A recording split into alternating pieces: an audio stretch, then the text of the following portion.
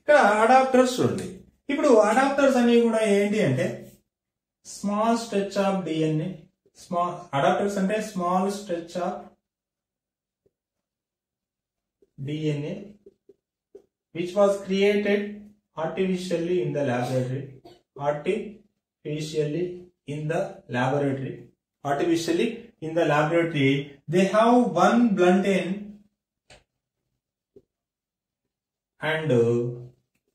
another end was another end was sticky end. ఇప్పుడు చూడండి. ఇక్కడ ఏం చెప్తున్నా అంటే ఇది కూడా small stretch of DNA it's like linkers లాగానే స్మాల్ స్ట్రెచ్ ఆఫ్ డిఎన్ఏ ఆ డిఎన్ఏ ఆర్టిఫిషియల్గా లాబొరేటరీలో క్రియేట్ చేసింటారు. ఆ డిఎన్ఏ లోపల వన్ బ్లంట్ ఎండ్ లేదు అంటే అనదర్ స్టికీ ఎండ్ కలిగి ఉంటుంది. ఒక బ్లంట్ ఎండ్ ఒక స్టికీ ఎండ్ కలిగిన డిఎన్ఏను ఏమంటున్నారు? Small stretch of DNA doctor అన్నారు. ఇది కూడా సేమ్ యాస్టిస్. ఫర్ ఎగ్జాంపుల్ మనకి ఎప్పుడైతే డిఎన్ఏ ఫ్రాగ్మెంట్స్ అనేటివి డిఎన్ఏ ఫ్రాగ్మెంట్స్ అనేటివి బ్లంట్ ఎండ్ కలిగి ఉంటాయో మనకు కావాల్సిన ఈ డిఎన్ఏ ఈ డిజైర్ డిఎన్ఏను మనం ఏం చేయాలి? వెక్టార్స్ లోపలికి పంపించాలి.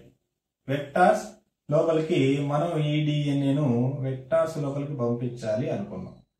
ఓకే? ఈ డిఎన్ఏని వెక్టార్ లోపలికి పంపించాలి. ఇక్కడ చూస్తే ఈ వెక్టార్ లోపల ఏముంది అంటే ఎస్టికి ఎండ్స్ ఉన్నాయి. లేదంటే కోహసివ్ ఎండ్స్ ఉన్నాయి. వెక్టార్ లోపల కోహసివ్ ఎండ్స్ ఉన్నాయి కానీ డిసైడ్ జీన్ లోపల బ్లంట్ ఎండ్స్ ఉన్నాయి. ఈ బ్లంట్ ఎండ్స్ని మనం ఏం చేయాలంటే స్టికీ ఎండ్స్గా కన్వర్ట్ చేయాలి. అప్పుడు ఏం చేస్తున్నాం అంటే అడాప్టర్స్ యూజ్ చేస్తున్నాం. ఈ అడాప్టర్స్ ఏ విధంగా ఉంటాయంటే ఈ విధంగా ఉంటాయి.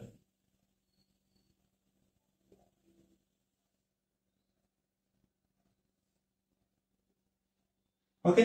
అడాప్టర్స్ రెండు రకాలుగా ఉంటాయి. ఓకే? ఈ విధంగా ఒక సైడ్ స్టిక్కీ ఎండ్ ఒక సైడ్ బ్లంట్ ఎండ్ ఇప్పుడు ఇది ఇది సేమ్ ఇప్పుడు this is called as a sticky end this is called as a blunt end okay? This is called as a sticky this is called as a blunt ఈ విధంగా నేను చెప్పినట్లు as per definition ఏంటి ఒక side blunt ఒక side sticky end కలిగి ఉన్న artificially created DNA fragment నే ఏమంటున్నారు అంటే స్మాల్ ఫ్రాగ్మెంట్ ఏమన్నారంటే అడాప్టర్ అన్నారు. ఇప్పుడు ఏంటంటే ఫర్ ఎగ్జాంపుల్ ఈ అడాప్టర్స్ అన్ని కొంచెం జాగ్రత్తగా వినాలి. ఈ అడాప్టర్స్ అన్ని కూడా విషయం ఏంటి అంటే ఇక్కడ ఫైవ్ ప్రైమ్ ఉంటుంది త్రీ ప్రైమ్ ఉంటుంది. ఇక్కడ త్రీ ప్రైమ్ ఉంటుంది ఫైవ్ ప్రైమ్ ఉంటుంది. ఓకే సింపుల్గా అండర్స్టాండింగ్ కోసం నేను ఇక్కడికి ఇస్తాను.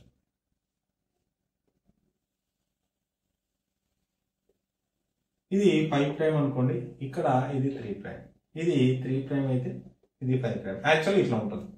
ఓకే విషయం ఇది. యాక్చువల్గా ఫైవ్ ప్రైమ్ దగ్గర త్రీ ప్రైమ్ దగ్గర ఎప్పుడు కూడా ఓహెచ్ గ్రూప్ ఉంటుంది. త్రీ ప్రైమ్ దగ్గర ఓహెచ్ గ్రూప్ ఉంటుంది. ఇక్కడ త్రీ ప్రైమ్ దగ్గర ఓహెచ్ గ్రూప్ ఉంటుంది. ఫైవ్ ప్రైమ్ దగ్గర ఫాస్ఫేట్ ఉండాలి. ఒక ఒక లింకర్ ఇది. ఇంకో లింకర్ ఒకసారి చూడండి. Ah, సారీ ఒక అడాప్టర్ ఈ అడాప్టర్ ఈ విధంగా ఉంది. ఇంకో అడాప్టర్ ఈ విధంగా ఉంది ఈ అడాప్టర్కి ఫైవ్ ప్రైమ్ పాస్పేట్ ఉంది.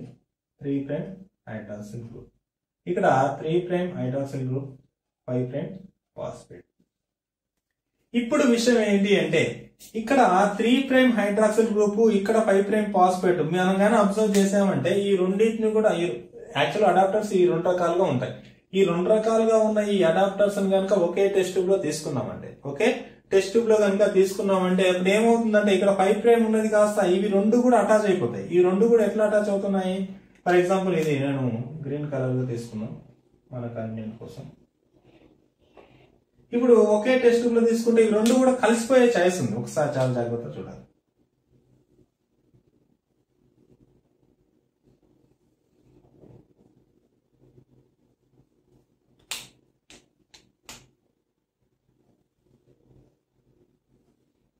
ఓకే అర్థమైందా? నేను చెప్పింది కాన్సెప్ట్ ఇక్కడ త్రీ ప్రైమ్ హైడ్రాక్సిల్ గ్రూప్ ఇక్కడ ఫైవ్ ప్రైమ్ ఉండడం వల్ల ఇది డైరెక్ట్ వచ్చేసేసి త్రీ ప్రైమ్ తర్వాత ఫైవ్ ప్రైమ్. ఈ త్రీ ప్రైమ్ ఫైవ్ ప్రైమ్ మధ్యలో బాండింగ్ అవుతుంది ఎప్పుడు కూడా. ఓకే ఇప్పుడు ఏంటంటే ఇక్కడ ఈ రెండు కూడా అటాచ్ అయిపోతాయి. సెల్ఫ్ అనీలింగ్ అంటారు. లేదంటే self ligate sorry self ligate అంటారు. ఈ సెల్ఫ్ లైగేట్ జరగడం వల్ల ఏంటి? మళ్ళీ ఇది ఇది ఒక బ్లంట్ ఎండ్ ఇది ఒక బ్లంట్ ఎండ్ ఏర్పడుతుంది.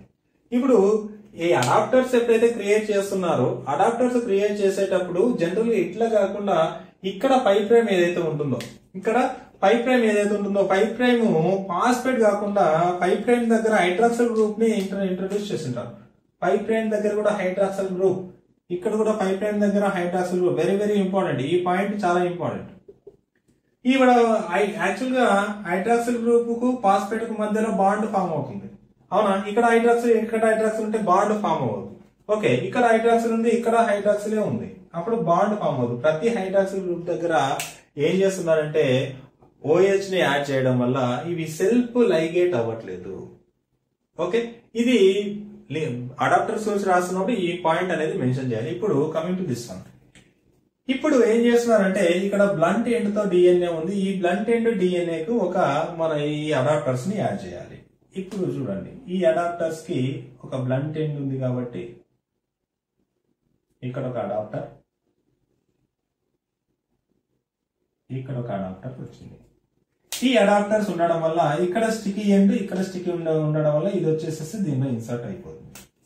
జాగ్రత్త చూసారంటే మనం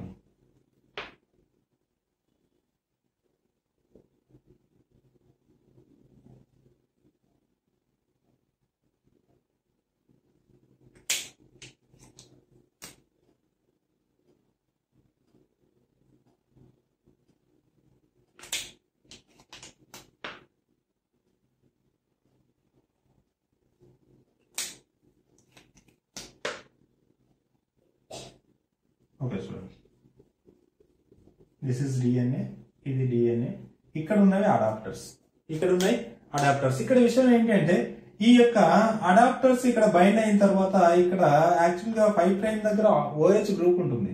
కానీ ఇక్కడ దీని పక్కన ఇక్కడ త్రీ ప్రైమ్ ఇక్కడ చూడండి ఇది కూడా డిఎన్ఏనే ఈ డిఎన్ఏ కు ఇక్కడ త్రీ ప్రైమ్ హైడ్రాక్సిల్ గ్రూప్ ఇక్కడ త్రీ ప్రైమ్ హైడ్రాక్సిల్ గ్రూప్ ఉందనుకో కానీ ఇవి ఏవైతే బైండ్ అయినాయో దానికి కూడా హైడ్రాక్సిల్ గ్రూపే ఉన్నాయి. ఇక్కడ దీనికి ఏముంది ఇక్కడ త్రీ ప్రైమ్ హైడ్రాక్సిల్ గ్రూప్ ఈ హైడ్రాక్సిల్ గ్రూప్ హైడ్రాక్సిల్ గ్రూప్ రెండు కూడా కలిసిపో.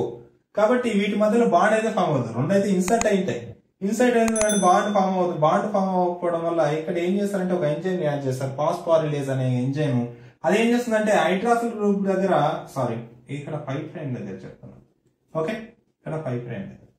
ఓకే ఇక్కడ ఫైవ్ ప్రైమ్ దగ్గర hydroxyl group three prime hydroxyl group ఉంది. లింక్ అడాప్టర్లో మాత్రం ఫైవ్ ప్రైమ్ హైడ్రాక్సిల్ ఉంది. ఈ హైడ్రాక్సిల్ ప్లేస్ లోపల పాస్పేట్ని యాడ్ చేయడానికి పాస్పారిలేజ్ అనే ఒక ఎంజైమ్ని యాడ్ చేస్తారు. పాస్పారిలేజ్ ఎంజైమ్ యాడ్ చేయడం వల్ల ఏమవుతుంది?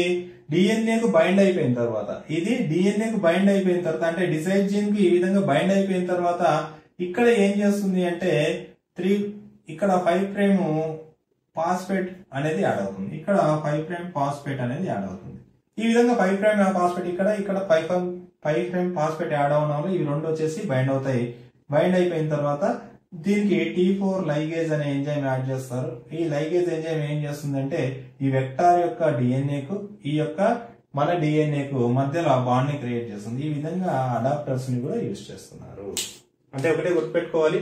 అడాప్టర్స్ అనేటివి small stretch of DNA artificially created in the laboratory they have one blunt end and one sticky end to avoid the self self ligate the five frame phosphate end that created with the five prime hydroxyl group ఎప్పుడైతే whenever these adapter that binds to the DNA, then then, then addition of phosphorylase enzyme that creates the 5 prime phosphate instead of 5 prime hydroxyl group. Okay, now this DNA that inserted into the vector, finally it can ligated by the T4 DNA ligase enzyme. Okay, this is all about the adapters of DNA stretches which is used in the recombinant DNA technology which to avoid the what actually blunt హెండ్స్ని కోహెసివెన్స్గా create చేయడానికి use చేస్తున్నారు ఇది entire concept of the adapters and linkers I hope ఈ ఈ- ఈ class మీకు క్లియర్గా అర్థమైందనేసి అనుకుంటున్నాను. మీకు కనుక అర్థమైతే నా ఛానల్ సబ్స్క్రైబ్ చేయండి లైక్ చేయండి షేర్ చేయండి. ఏమైనా డౌట్స్ ఉంటే నాకు కామెంట్ చేయండి. నేను ఖచ్చితంగా రిప్లై ఇవ్వడానికి ట్రై చేస్తాను. Thank you